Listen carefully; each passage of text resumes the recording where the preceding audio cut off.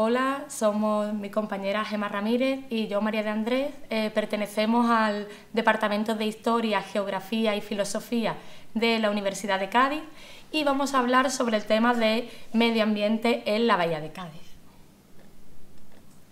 Bueno, pues empezamos un poco hablando sobre eh, qué nos encontramos en la Bahía de Cádiz. Vamos a ver que es un área metropolitana con muchos ecosistemas terrestres, intermareales y marinos, pero que todos ellos están eh, conectados o divididos, según queramos entenderlo, por eh, seis núcleos de población que albergan más eh, de medio millón de personas. Como podemos ver en el mapa, las características que tiene la bahía es de una topografía muy llana, en la que vamos a encontrar amplias marismas mareales, y además vamos a encontrar otras zonas de pinares costeros, playas, dunas y arenales. Eh, todos ellos son ecosistemas tremendamente frágiles eh, que se van a ver impactados y presionados por todas las actividades humanas. Aquí podemos ver eh, distintas fotografías sobre estos ecosistemas que nos vamos a encontrar en la bahía de Cádiz, vemos que todos ellos son característicos del área intermareal, de este área tan eh, ampliamente identificada en la bahía de Cádiz y todos ellos eh, impactados por las actividades económicas y sociales. Además, eh, otra característica de la bahía de Cádiz es la figura de protección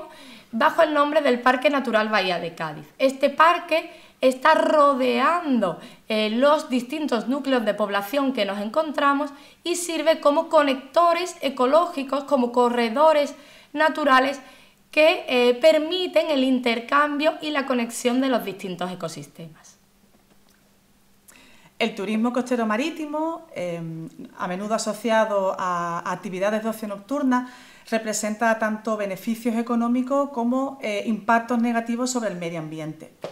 Em, este, esta dicotomía entre beneficio y perjuicio representa a su vez una serie de, desafíos y de inconvenientes sobre el medio natural, sobre los socioecosistemas eh, marítimos. Eh, eh, este enfoque o estos, em, estos impactos negativos recaen a su vez sobre diferentes alteraciones que tienen que ver con la fauna, como por ejemplo a través de la alteración del ciclo migratorio de las aves, también sobre la, flora, eh, con alteraciones sobre la fotosíntesis, pero incluso también sobre la sociedad o la comunidad local, a través de cambios en los ciclos em, circadianos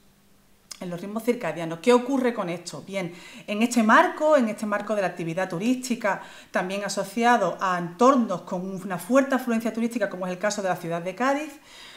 Em, conlleva eh, que haya una relación sobre su impacto en estos entornos tan vulnerables como apreciados para el sector turístico a través de la contaminación lumínica, que eh, a su vez tiene em, una, representación la más visual a través de, bueno, del resplandor nocturno del cielo. Eh, en, este, en este contexto, en este ámbito, estamos trabajando con la Universidad de Bretaña Occidental en el marco de la Alianza SIU sobre un proyecto eh, donde se trata eh, de analizar el impacto de la contaminación lumínica asociada a la actividad turística. En ese sentido, trabajamos eh, con la Universidad de Bretaña Occidental, con la Universidad de Malta y también con la Universidad de Cádiz. Lo que cogemos son distintos casos de estudio localizados en los tres países, en tres ciudades específicas, y analizamos esa actividad turística con la contaminación lumínica en entornos naturales para ver su influencia sobre la biodiversidad.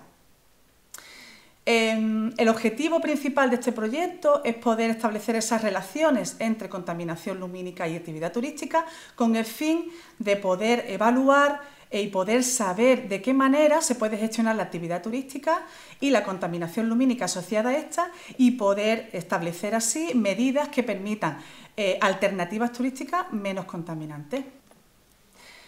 En este sentido, desde la Alianza de SIU y desde la Universidad de Bretaña Occidental, además de la Universidad de Malta y Universidad de Cádiz, eh, seguimos trabajando por la sostenibilidad, por el cuidado de la sociedad, del medio ambiente, de la cultura y también del progreso económico de las comunidades locales, para mm, poder obtener y poder trabajar para un futuro mejor para todos y todas. Gracias.